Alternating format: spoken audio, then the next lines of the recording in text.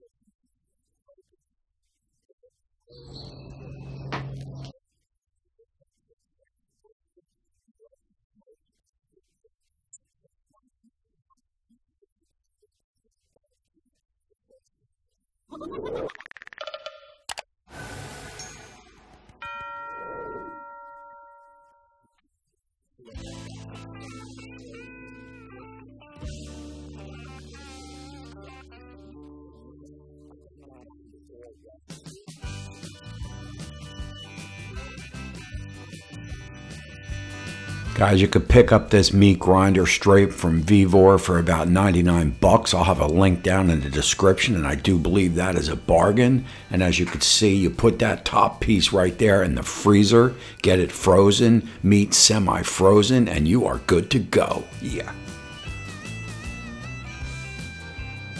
So look, anytime I am doing brisket, uh, a brisket burger for a smoked brisket burger, I do have a little bit of chuck, some fresh chuck. I use that just to get that perfect 80, 20, 75, 25, you know the deal.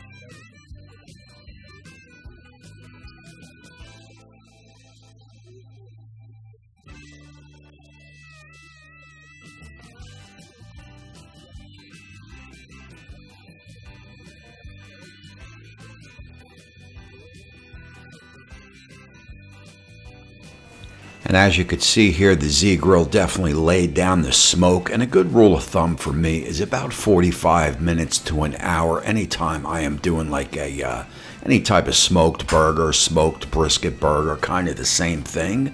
About 45 minutes to an hour should get you where you need to be. Yeah.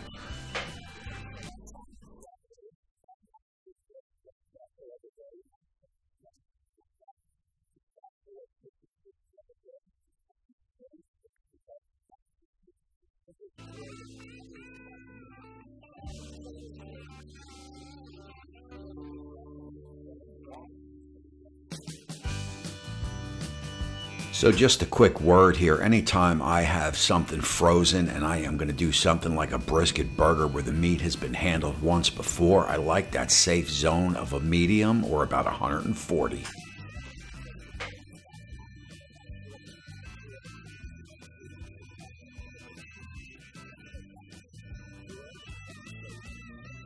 Real quick on this, I like to keep these uh, burgers type burgers simple. We got some thick cut, uh, thick cut tomatoes, thick cut onions, and also some provolone cheese. And just like that, we will get these bad boys flipped over. Wait about another minute or two. That is it. We will cheese them up. That is going to be a couple slices of provolone. That is deli sliced provolone. We will cheese them up, let that melt, get them on over to the board, plate them up, finish it up, and talk about it.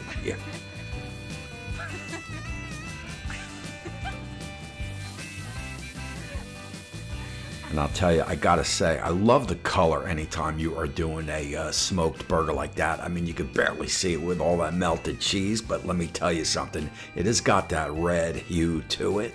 We will get that thick tomatoes on, thick onions on, and that there is that smoked brisket burger.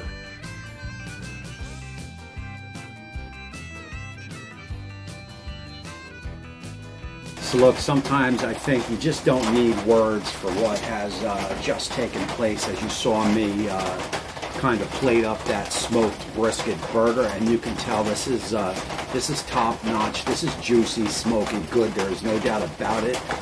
Again with the rain and so forth I am just going to do a uh, quick taste test talk about it real quick and close out the show